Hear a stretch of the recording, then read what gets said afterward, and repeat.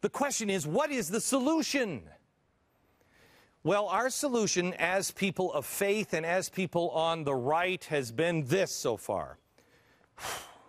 Did you see Glee? Have you seen those violent video games? Yeah, I have, and I'm going to I'm going to throw out the TV in our house. Really? Is that it? Is that going to solve anything? No. Why? Because nature abhors a vacuum. The trash is still there. It's why our culture is just disconnecting. We're ripping ourselves apart because there are two worlds. You go to any major city, if you live in the center of the country, and you go, you, you go to your own kid's school, it is a shift. It is because of the evil magic box. No, it's not. It's not technology. It's what we choose to do with it. It's what we choose to put into it and have spill out onto our phones and our iPads and our television sets. This is the area where I don't understand it. We have abandoned our entrepreneurial spirit. Instead of being like Edison and trying a thousand different ways to be part of the solution, and sure, we might fail, we instead throw up our hands in the air and wave the white flag and say, oh. And instead, we become against something instead of being for something. Man, I have to tell you, this, this one is really frustrating to me because I'm a creative guy. Um, and I have to tell you something. This is going to sound awful for me to say. But I, I believe um, I am only living at about a third of my potential because of the time we live in. I, uh, I am a pariah because of my point of view. And if I had a different point of view, I'd be Walt Disney by now. But I don't. And I refuse to have another point of view.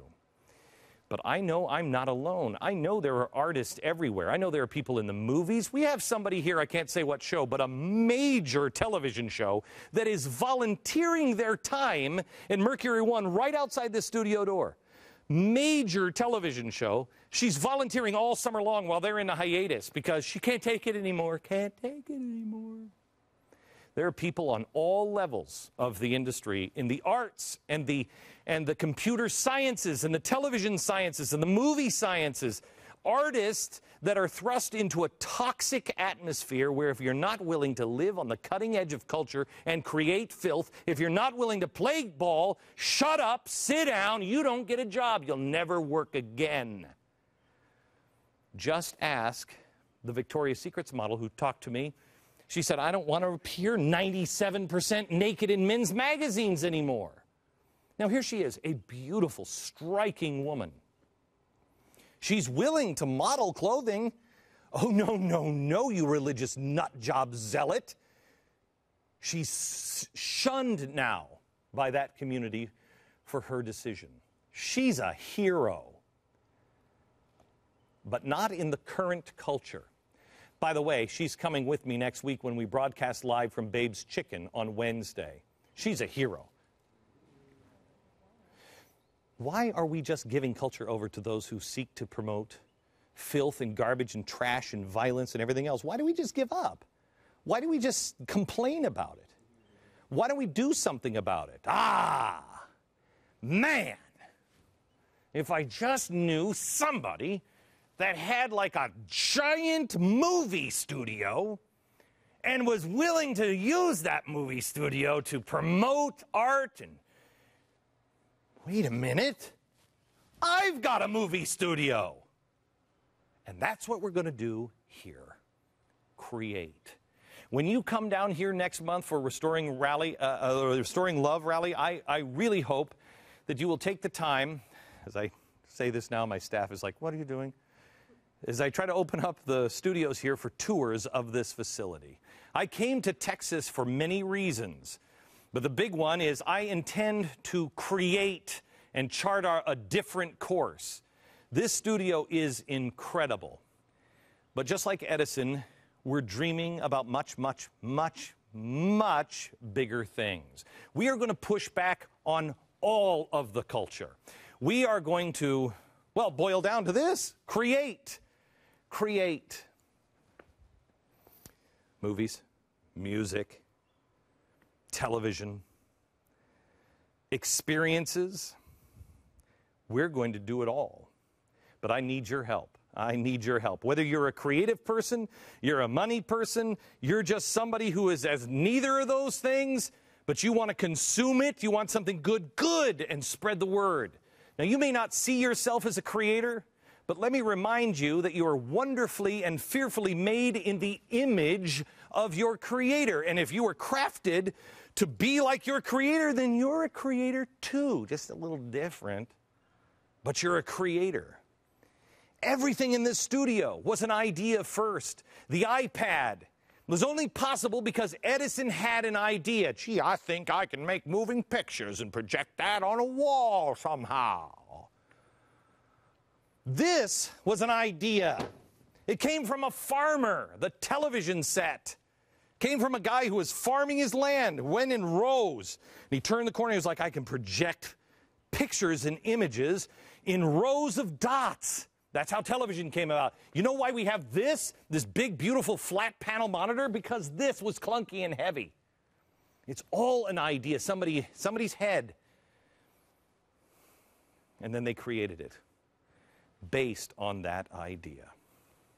Right now, our idea of culture is bad, not like it, keep kids away. We distance ourselves from the culture. Well, that doesn't create anything and it leaves a vacuum. And American culture moves forward without us. We must move it forward. It only moves forward when people are creating, not complaining. Meanwhile, the politicians, the studios, the networks, the record industry, they're all going downhill. They're, and it's, it's crap, and their systems don't work anymore idea, bing, Edison light bulb, be there to replace them. Everybody tries to punish small businesses. Everybody tries to punish the creators. Everybody tries to punish anybody who has a different idea, but it's the different idea that made us great. That is all about to change because today is the biggest challenge of all. For create against all odds, create. This is the most important. This is what makes us Americans. It's what moved America from darkness and candles to whatever it is you want to make of it. But you must think it, work at it, create, and push it out. Creation. It's what informs us, it's what motivates us. In many ways, it's who we are. That's why the Marxist of the early 20th century laid out a detailed plan of action to change our culture, to create a different culture. You can change the way people perceive things. If you can do that, you can change the way they move, the way they act. We know this is true because we've seen it happen in our own lifetime, right before your eyes. You watch it now in real time. So, do I expect you to grab a guitar, send me a movie script, buy a giant studio, and start producing your own hit? Nope. Nope. But we are all creators, and that's what I want you to recognize. We all have an idea. This is my idea.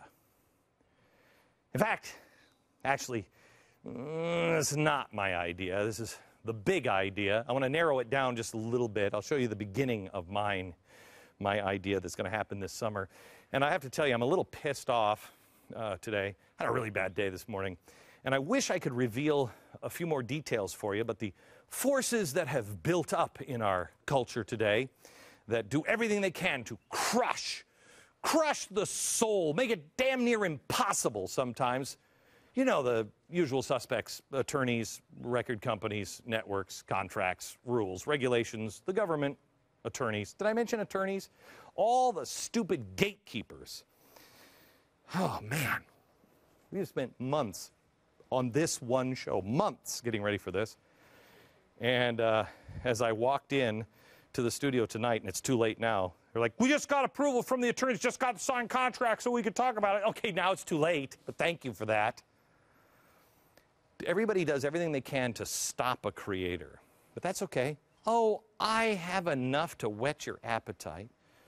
I'm only asking for a few days more before we uh, show you the whole picture. But tonight, instead of doing what I was planning on doing, I'm going to take you upstairs. I want to take you up to my office. This is um, the Mercury Planning Office. I'll show you the first few steps of how we tend to put down our, our white flag and take our culture back. We're going to do it, and we're going to do it by creating the full scope of what we're doing, the music and film, next. People get ready, a train.